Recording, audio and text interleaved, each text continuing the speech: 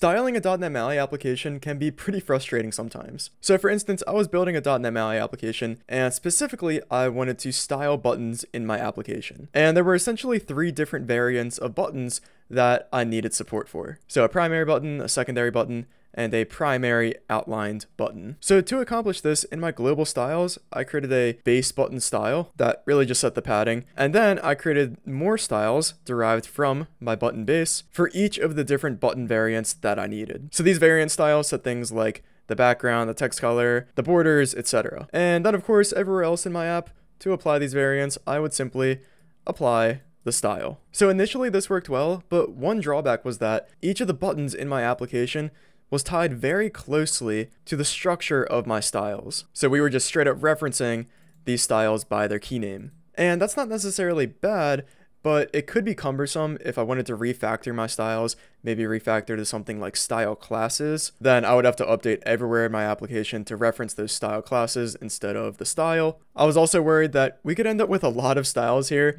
or a lot of style classes, if we wanted more button variants. So for instance, we might want a button tertiary, and then a button secondary outline, a button tertiary outline, and so on. So basically where I was with styles, I didn't feel like I had enough flexibility for what all of these button variants were starting to grow into. So as always, I talk about these a lot, but it seemed like this is something that a component could solve.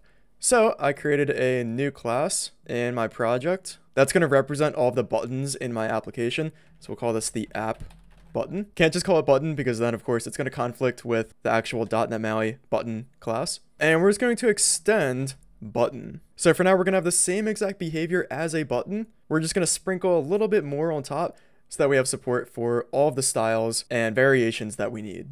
And since we have a component now, we can leverage bindable properties to represent all of the different style variations that we're gonna support. So for example, let's just scaffold out a bindable property. We could have a boolean property for whether or not this button is gonna be styled as an outline variant. So let's add this property, again, a boolean, on our app button. By default, it can be false. So before we give this property any meaning or make it do something, let's see how this will be used in our application from a client's perspective. So for example, we would import or define the namespace that contains our app button, and then we can reference it. So here, we're currently referencing a style to make this button an outline button, but now we're gonna leverage our app button, which means if we wanna make this an outline button, we can just set outline to true. So we're setting this bindable property on our component to true, which means we don't have to reference any styles here. Instead, we're going to let the component do all the hard work and figure out what styles to apply, which means everywhere else in our application wouldn't have to change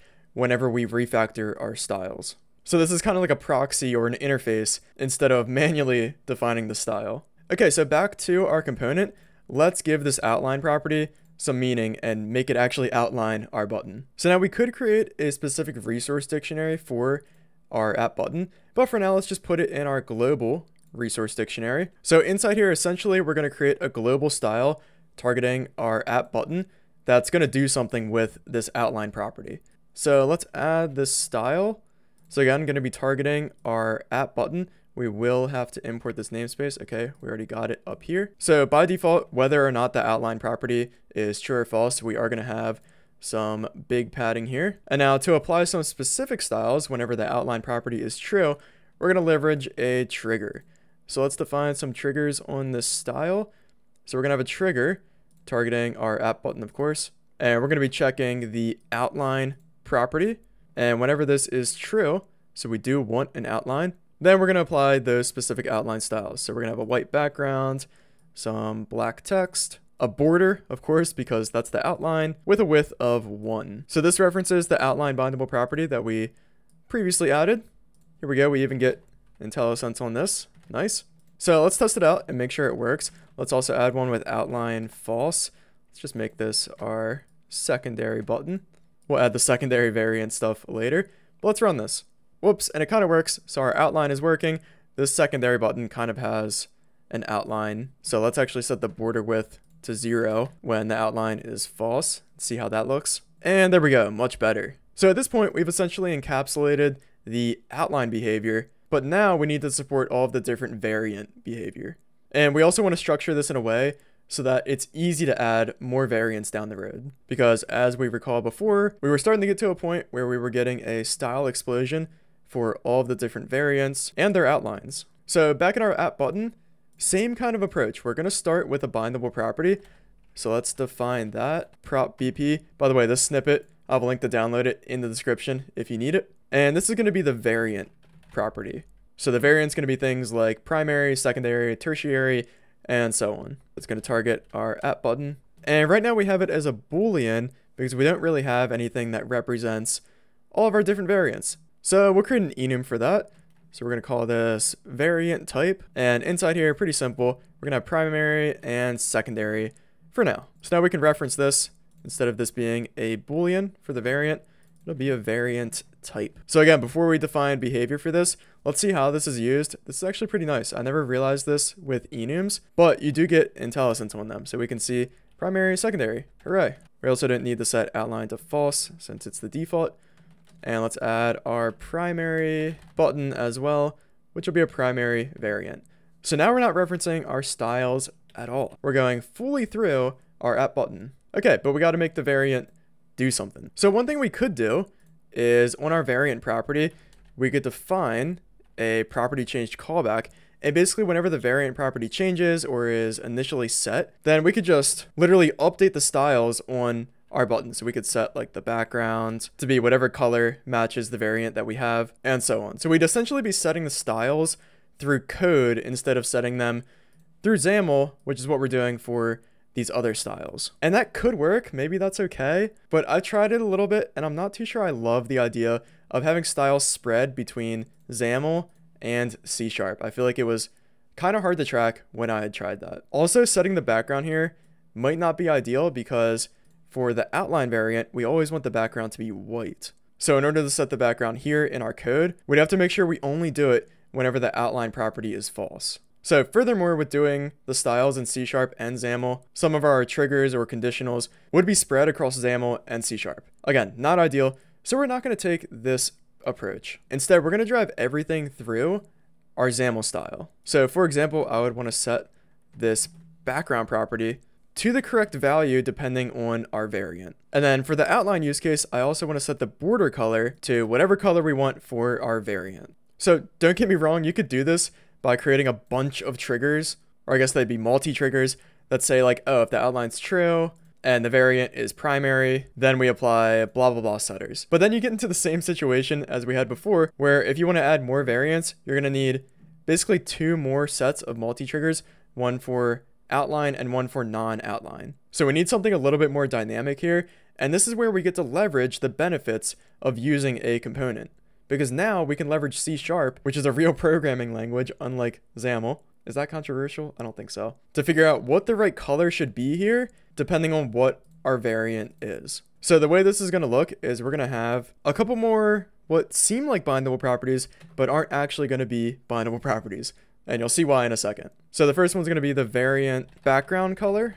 So it'll be a type of color on our app button. We can give it a default of null. And actually, this will be the only property that we create for now. So this variant background color is going to contain the right color depending on our variant. So we can leverage this property in our style. So we can have a binding pointing to the variant background color. And we do need to specify that we're binding to ourself. So let's set the source to relative source self. And just to confirm that worked, we can check and we get IntelliSense. There's our property. Cool. And same exact thing for outline cases. We basically want to move the background color to the border color. So now, as you can see with this approach, we don't need to create a bunch of triggers or anything crazy to get these variants. And in fact, if we want to add a new variant, we just need to make sure that the variant background color is updated for whatever new variant that we're creating, and really nothing in the style would have to change. So on that note, let's hop back over to this property and make sure it's updated depending on what the variant is. So that being said, we are going to have to come in here and define a property changed callback. We'll call this something like on variant property changed. Let's generate that. And this method is static, but this bindable that gets passed in basically represents our app button instance. So we can just do some pattern matching here. So if the bindable is an app button, then we're going to take that button and call some kind of method on it that's going to update this variant background color depending on our variant. So let's generate that. Here we go. And as you can imagine, just going to be a simple switch statement based on our variant. So whenever we have our primary variant, then here we go. We're going to set the variant background color to our primary color. And then same thing for secondary. Whenever we have that variant, we'll set the background color to our secondary color. And then by default, we can just set nothing. Well, actually, maybe we should set the variant background color to null. So just reset it, which means, uh, this will have to be optional. Let's fix that real quick. Should be anyways. And there we go. And one more thing to note is that we're only updating the variant colors when it changes. So that means we also have to update the variant colors when we initialize our component as well. So we get the initial variant colors. Let's call update variant colors from the constructor. All right, so let's walk through this. Let's put a breakpoint here and run this. Whoops, just crashed on startup. So we have to change this default value on our variant property, which is a variant enum type. We can just change it to null. Okay, so here we go. We're initializing our app button. So this is for our primary variant, which means we're going to set the variant background color to this color here. There we go. Which means, I believe in this case, we are not outlined. Can we check it? Yes, outline is false. So we're just going to set these styles here. All right, and there we go. We have our buttons. All right, and I actually want this primary button to have white text. So we can add another property for that. So along with the variant background color, we can add the variant foreground color. So let's just update that everywhere here. And we can just make sure that we set this based on our variant. So for primary, we're going to set the color to white. So essentially white text. And then for secondary, we'll keep it as black. So all zeros here. and for the default, let's set it to null. There we go. Now we just got to reference it in our style. So we're going to set the foreground, or not foreground, text color to the variant foreground color. And one last thing, I actually completely forgot about this, but I was talking about how these aren't really going to be bindable properties.